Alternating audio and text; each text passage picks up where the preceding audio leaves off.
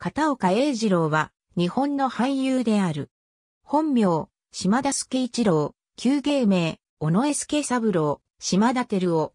1918年11月23日、愛媛県上受名郡熊町に生まれる。父は俳優の野江花竹、戦後に東映の俳優として活動した島田秀夫は実弟。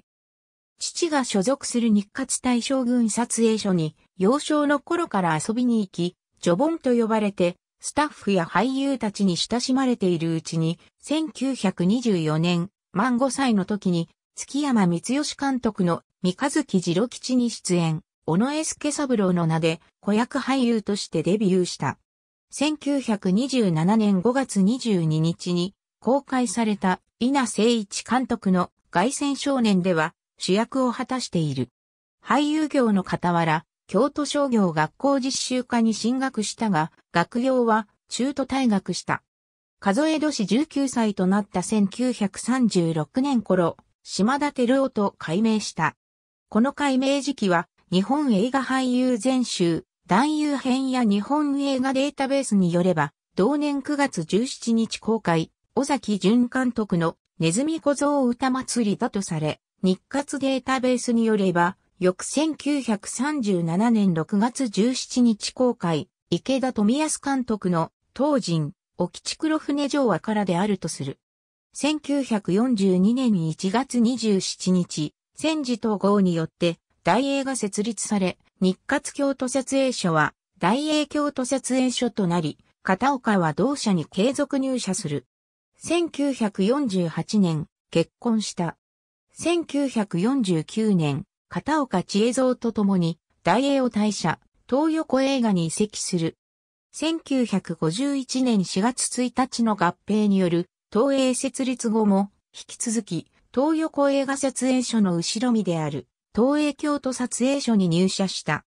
1955年3月13日に公開されたうちで高吉監督の彦助と助け俺は天下のご意見番で一ところ天女役を演じた際に、片岡英二郎と改名した。1966年6月、聴力障害のため東映を退社した。その後も1968年頃までは、テレビ映画に出演していた。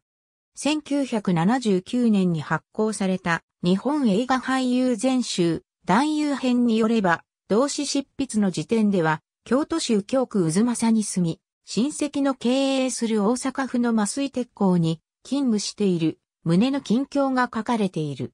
私生活では二男一女を設けた。1983年6月19日死去。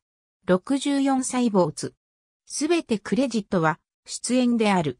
役名のわかるものは公開日の右側に記し、東京国立近代美術館、フィルムセンター所蔵等の上映用プリントの現存状況についても記す。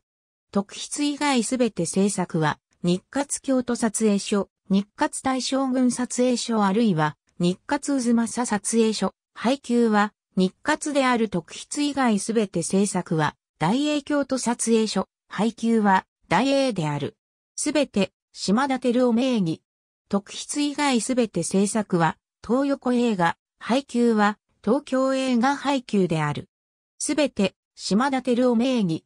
里見八剣伝のその後のポスター。出演当時の島田照夫ではなく、片岡英二郎の名が見える。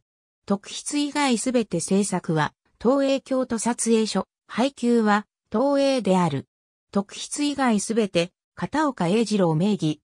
ありがとうございます。